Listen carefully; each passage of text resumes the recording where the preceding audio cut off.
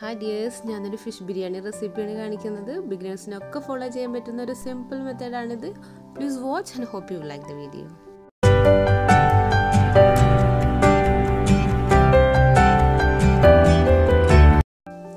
ആദ്യം തന്നെ ഒരു ഫ്രൈങ് പാൻ എടുത്തിട്ട് അത് ജസ്റ്റ് ഒന്ന് ചൂടാക്കിയതിന് ശേഷം അതിലേക്ക് two two three tablespoon നെയ്യ് ഒഴിക്കുക. അതൊന്ന് ചൂടായതിന് ശേഷം കുറച്ച് റൈസിൻസ് അതായത് ഉണക്കമുന്തിരി നമുക്ക് ആവശ്യത്തിനനുസരിച്ച് ഒന്ന് ജസ്റ്റ് ഒന്ന് ഇട്ട് അതൊന്ന് ഫ്രൈ ചെയ്തിട്ടെടുക്കാം.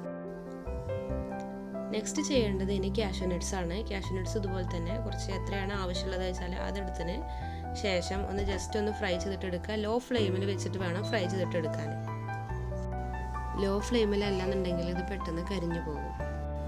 അത് ഇതൊന്ന് ഫ്രൈ ആയിട്ടുണ്ട്. നമുക്കിത് ഗീയിൽ നിന്ന് മാറ്റിയെടുക്കാം. ഇതേ ഗീയിൽ തന്നെ ഞാൻ നൈസായിട്ട് സ്ലൈസ് ചെയ്ത പത്ത് ഉള്ളി ആണ് എടുത്തിട്ടുള്ളത്. അത് ജസ്റ്റ് ഇതിലൊന്ന് വഴറ്റിയെടുക്കാം. ബ്രൗൺ കളർ ആവുന്നത് വരെ വഴറ്റിയെടുക്കണം. നമ്മൾ നേരത്തെ ഫ്രൈ ചെയ്ത് വെച്ചിട്ടുള്ള കാഷ്യൂ നട്ട്സ് അതുപോലെ തന്നെ ഉണക്കമുന്തിരി. ഇപ്പം നമ്മൾ ഫ്രൈ ചെയ്ത് കൊണ്ടിരിക്കുന്ന ഉള്ളി ഇതെല്ലാം നമ്മൾ ലാസ്റ്റ് യൂസ് ചെയ്യാനുള്ളതാണ്. നന്നായിട്ട് വഴറ്റിയെടുക്കുക. ബ്രൗൺ കളർ ആകുന്നത് വരെ വഴറ്റിയെടുക്കണം. ഞാനിവിടെ മീഡിയം സൈസ് ആയിട്ടുള്ള മൂന്ന് ഉള്ളിയാണ് എടുത്തിട്ടുള്ളത്. അതേത് ബ്രൗൺ കളർ ആയിട്ടുണ്ട് നമുക്കിത് നെയ്യിൽ നിന്ന് കോരിയെടുക്കാം. ഒരു പ്ലേറ്റിലേക്ക് ഇതിങ്ങനെ പരത്തി വെക്കാം. ചൂടാറുന്ന സമയത്ത് കട്ട പിടിക്കാതിരിക്കാനാണ് ഇങ്ങനെ ചെയ്യുന്നത്. ഞാനിവിടെ ഒന്നര കിലോഗ്രാം കിങ് ഫിഷ് ആണ് ഉപയോഗിക്കുന്നത്. ഇത് ഞാൻ കുറച്ച് മഞ്ഞൾപ്പൊടി മുളക് പൊടി കുരുമുളക് പൊടി അതുപോലെ തന്നെ ഇഞ്ചി വെളുത്തുള്ളി പേസ്റ്റ് കുറച്ച് ഉപ്പ് ഇതെല്ലാം കുറച്ച് വെള്ളത്തിൽ മിക്സ് ചെയ്തിട്ട് നന്നായിട്ട് മിക്സ് ചെയ്തതിന് ശേഷം ഇത് മീനിൽ നന്നായിട്ട് മാരിനേറ്റ് ചെയ്ത് വെച്ചതാണ്. ഞാനൊരു മുപ്പത് മിനിറ്റ് ഇത് ഞാൻ മാറ്റി വെച്ചിട്ടാണ് ഇത് യൂസ് ചെയ്യുന്നത്. ഇത് ഫ്രൈ ചെയ്തിട്ട് എടുക്കണം. ഇത് പകുതി വേവാനേ പാടുള്ളൂ. അല്ലെങ്കിൽ ഇത് നമ്മൾ ബിരിയാണിക്ക് ദമ്മിടുന്ന ടൈമിൽ അത് ഉടഞ്ഞു പോകും ഇത് ഫ്രൈ ചെയ്യുന്ന സമയത്ത് കുറച്ച് കറിവേപ്പില അതിന്റെ മുകളിലോട്ട് ഇട്ട് കൊടുക്കുക. എന്നിട്ട് അടച്ച് വെക്കുക. നല്ലൊരു സ്മെല്ല് വരാനാണ്. അതുപോലെ തന്നെ ഇത് ഒരുപാട് നേരം ഫ്രൈ ചെയ്യരുത്. ഏകദേശം ഹാഫ് കുക്ക് ആയിട്ടുണ്ട്. നമുക്കിത് മാറ്റിയെടുക്കാം ഓരോന്നായിട്ട്. ഇനി അടുത്തത് ബിരിയാണിക്ക് വേണ്ട റൈസ് പ്രിപ്പയർ ചെയ്യാനാണ്. ആദ്യം ഒരു വലിയ പാൻ എടുക്കുക. അതിലേക്ക് കുറച്ച് ഓയിൽ ഒഴിക്കുക. ഞാനൊരു മൂന്നാൽ ടേബിൾ സ്പൂണാണ് ഓയിൽ എടുത്തിട്ടുള്ളത്. ഇനി അതിലേക്ക് രണ്ട് മൂന്ന് പീസ് കറുകപ്പെട്ട ഗ്രാമ്പു അതുപോലെ തന്നെ ഒരു തക്കോലം.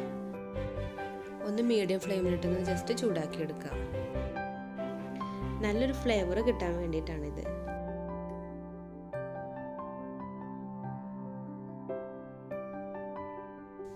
ഇനി ഇതിലേക്ക് ഒന്നര പിടി അരിഞ്ഞു വെച്ചിട്ടുള്ള ഉള്ളി അതിലിട്ടൊന്ന് വഴറ്റിയെടുക്കുക. അതൊരു ട്രാൻസ്പെറന്റ് ആകുന്നത് വരെ വഴറ്റിയാൽ മതി. അടുത്തത് ഇനി അരിയാണ് എടുക്കേണ്ടത്. ഞാനിവിടെ ഒന്നര ആണ് എടുത്തിട്ടുള്ളത്. ഞാൻ ജീരകശാല റൈസാണ് യൂസ് ചെയ്തിട്ടുള്ളത്.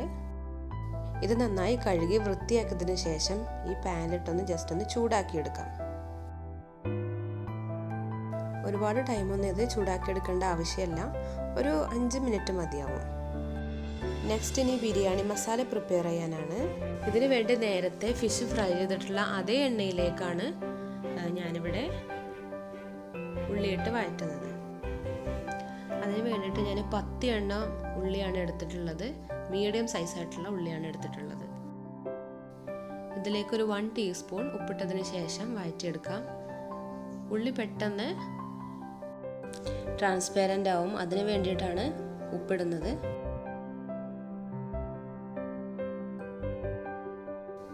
അതേസമയം ഞാനിവിടെ ഫ്രൈ ചെയ്ത് വെച്ചിട്ടുള്ള അരിയിലേക്ക് ഞാൻ ആറ് കപ്പ് അരിയാണ് യൂസ് ചെയ്തിട്ടുള്ളത്. അതിന്റെ ഡബിൾ പന്ത്രണ്ട് കപ്പ് ചുടുവെള്ളം ഇതിലേക്ക് ഒഴിച്ചതിന് ശേഷം ഒന്ന് ഇളക്കി കൊടുക്കാം.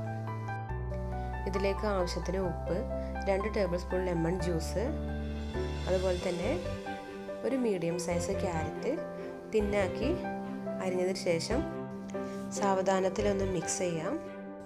പകുതി വേവുന്നത് വരെ അടച്ചു വെക്കാം. ഇതേ സമയം ബിരിയാണി മസാലയ്ക്കുള്ള ഉള്ളിയുടെ കളറെല്ലാം മാറി വന്നിട്ടുണ്ട്. ഇതിലേക്ക് മൂന്ന് tablespoon ginger garlic paste ഇട്ട് കൊടുക്കാം. പിന്നെ മൂന്ന് ഗ്രീൻ ചില്ലീസ്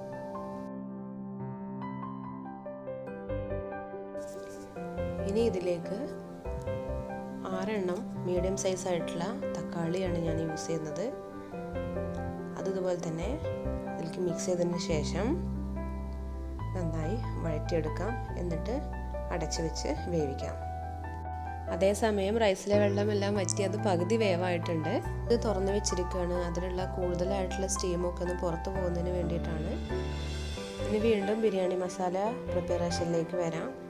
ഇവിടെ തക്കാളി നന്നായിട്ട് വെന്ത് വന്നിട്ടുണ്ട്. ഇനി അതിലേക്ക് ഫ്ലെയിം ഓഫ് ചെയ്തതിന് ശേഷം ഒരു പിടി അരിഞ്ഞ് വെച്ചിട്ടുള്ള മല്ലിയില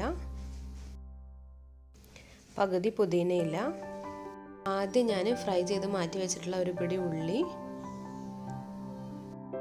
ഹാഫ് ടേബിൾ സ്പൂൺ വലിയ ജീരകപ്പൊടി കാ ടീസ്പൂൺ മഞ്ഞൾപ്പൊടി ഒന്നേകാൽ ടേബിൾ സ്പൂൺ മുളക് പൊടി.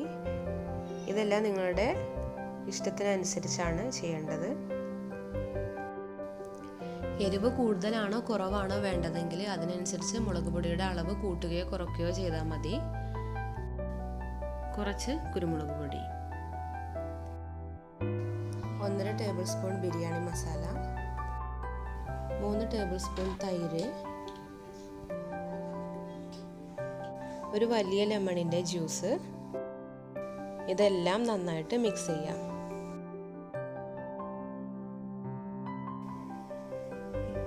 മീനിന്റെ പീസസ് ഒക്കെ ഈ ഗ്രേവിയിലേക്ക് വെച്ചതിന് ശേഷം നന്നായി ഒന്ന് കവർ ചെയ്ത് വെക്കുക കുറച്ച് സമയം അതവിടെ റെസ്റ്റ് ചെയ്യാൻ വെക്കുക ഞാനൊരു തേർട്ടി മിനിറ്റ്സ് ആണ് ഞാൻ വെച്ചിട്ടുള്ളത്. ഇനി ബിരിയാണി ദം ചെയ്യുന്ന പ്രോസസ്സാണ് അതിന് ആദ്യം വേണ്ടത് ഒരു വലിയ പാൻ എടുത്ത് അതിന്റെ താഴ്ഭാഗത്ത് കുറച്ച് ഓയിൽ ഒഴിച്ചതിന് ശേഷം ഒന്ന് സ്പ്രെഡ് ചെയ്ത് വെക്കുക ഫിഷ് ബിരിയാണി ദം ചെയ്യുന്ന സമയത്ത് ആദ്യം വേവിച്ച് വെച്ച റൈസാണ് ലെയറാക്കി വെക്കേണ്ടത്. ഫസ്റ്റ് ഫിഷ് വെക്കുകയാണെങ്കിൽ ആ ഫിഷിന്റെ ഗ്രേവി വെക്കുന്ന സമയത്ത് പെട്ടെന്ന് ചൂട് പിടിച്ച് അത് ഉടയാൻ സാധ്യതയുണ്ട്. അതുകൊണ്ടാണ് ആദ്യം തന്നെ റൈസ് വെക്കുന്നത്. ഇനി അതിലേക്ക് മല്ലിയില ഒന്ന് സ്പ്രെഡ് ചെയ്ത് കൊടുക്കാം. അതിനുശേഷം ഫ്രൈ ചെയ്ത് വെച്ചിട്ടുള്ള ഉള്ളിയാണ് നമുക്ക് സ്പ്രെഡ് ചെയ്യേണ്ടത്. പിന്നെ ക്യാഷ്യൂ നട്ട്സും മുന്തിരിയാണ് സ്പ്രെഡ് ചെയ്യേണ്ടത്.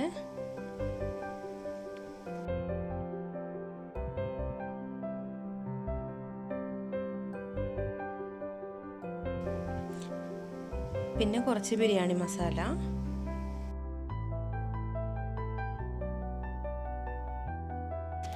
അതിന്റെ മുകളിലായിട്ട് ഗ്രേവി വെച്ച് കൊടുക്കാം.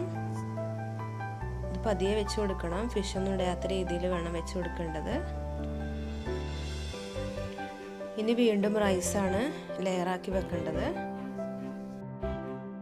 സെയിം മെത്തേഡ് തന്നെയാണ് ഇനി വീണ്ടും ചെയ്യേണ്ടത്. പിന്നെ ലാസ്റ്റ് കുറച്ച് നെയ്യ് അതിന്റെ മുകളിലോട്ടൊന്ന് സ്പ്രെഡ് ചെയ്ത് കൊടുക്കാം. സ്റ്റീം ഒന്നും പുറത്ത് പോവാതെ നന്നായി കവർ ചെയ്ത് വെക്കുക. മുപ്പത് മിനിറ്റ് നേരം ലോ ഫ്ലെയിമിൽ വേണം ഇത് ചെയ്യേണ്ടത്. അതിനുശേഷം വേറൊരു പാത്രത്തിലേക്ക് ഇതെല്ലാം ഒന്ന് മിക്സ് ചെയ്തതിന് ശേഷം ഒന്ന് മാറ്റി വെക്കാം. അങ്ങനെ ഫിഷ് ബിരിയാണി റെഡി ആയിട്ടുണ്ട്. Thank you for watching